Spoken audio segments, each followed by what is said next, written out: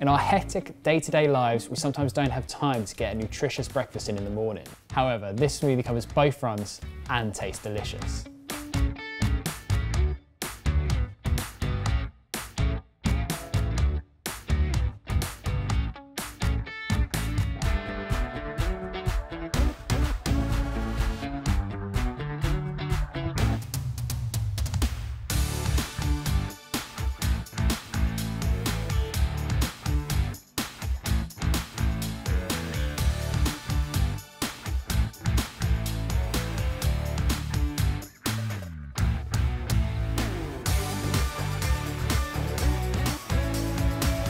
So there you have it. For more recipes like this, go to cyclingweekly.co.uk.